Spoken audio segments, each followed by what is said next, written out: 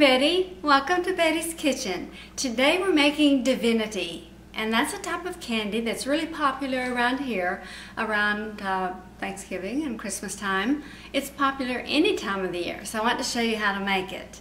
We're going to start with a small pot that we will be taking to the stove, and in there we're going to put one and one-fourth cups granulated white sugar. And also we're going to put one fourth cup of Karo light syrup.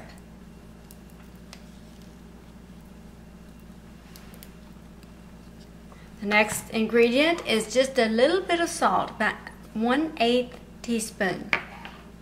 And a little bit of water. This is one fourth cup water. So we'll stir those around.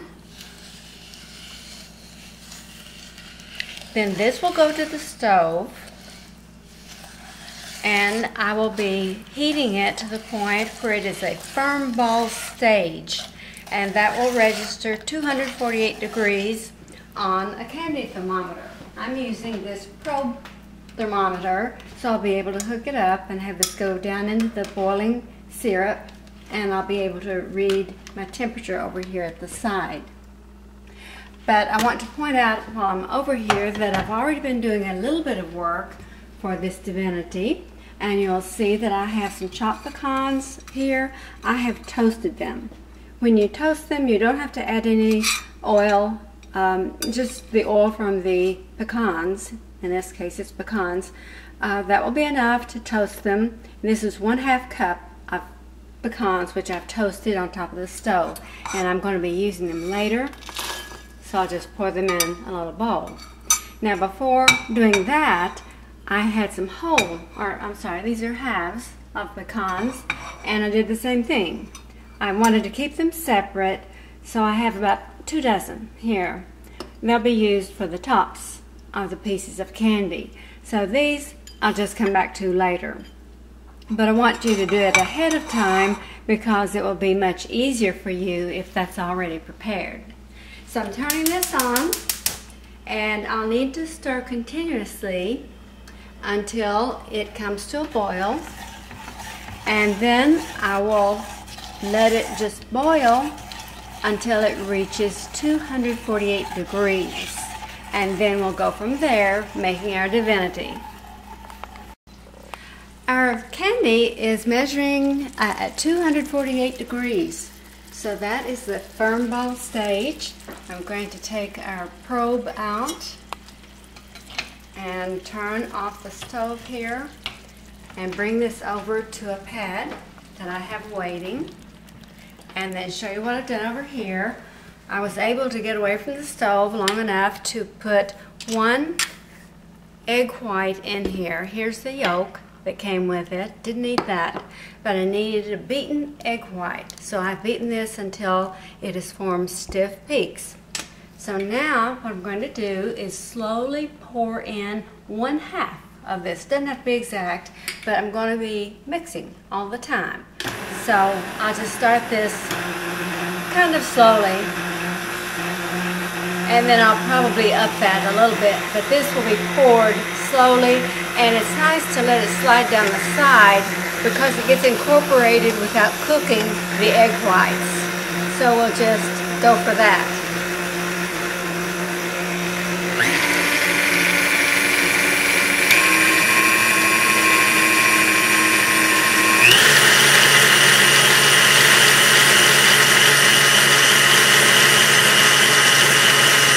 About half. I'll be using that again at the stove, but I need to beat this for five minutes. So I'll see you back in five minutes. Our syrup has reached 272 degrees, which is the soft crack stage. So I'm going to remove the probe. And I just stepped away from my mixer, which just came up on five minutes. So I turn my timer off and now I'm going to add this hotter syrup in just a little at a time. Just dribble it over the edge and keep beating. And I'll have to beat this for about five minutes once I get it all incorporated. We're about two minutes into the mixing and I remembered I needed to put vanilla in. This is one half teaspoon of vanilla going into the mixture. So there we go, another three minutes or less and we'll be ready to add our pecans. This is the way your divinity looks when it's ready to be worked on.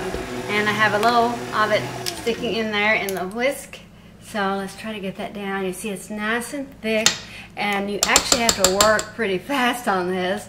So um, I shouldn't worry too much about what I might leave behind. I instead should work on what's down below. So I'm going to bring this off there. It's a little awkward for me to deal with and I'll go back for more of that if I need it. But my one half cup of toasted chopped pecans will be blended in by hand. So let's just use a large ladle. And I can feel it getting uh, thicker all the time. So what I want to do is just get these blended in well enough that I can start taking teaspoonfuls out and putting them on wax paper. So you need to have your wax paper already formed and ready. And I think we're ready to go. So we'll just uh, get some that's mixed really well down here. And try to make it shaped reasonably nicely because we're going to put um, a pecan, which has been toasted, on the top. Now I won't do that as I go along. I'll get all of my pieces of candy. So I'm probably going to ask Rick to put the camera down and help me because this is where you have to really do it very quickly or it'll harden up on you.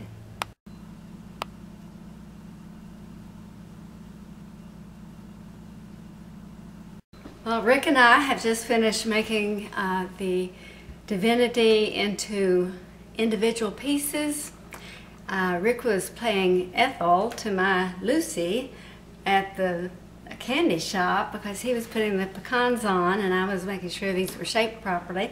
But I want to tell you that when you have them uh, separated out like this, where there are 24 of them, um, they're still a little soft and so you have a little leeway still unless you overcook that syrup.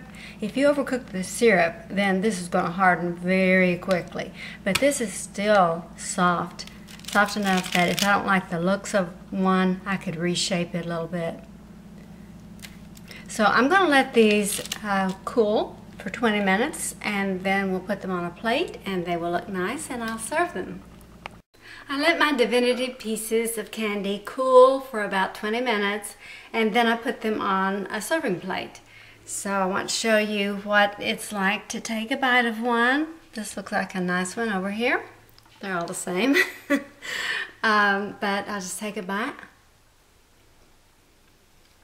Mm, it's nice and marshmallowy. You know, it's not overly sweet. You'd think it would be just just loads of sugar.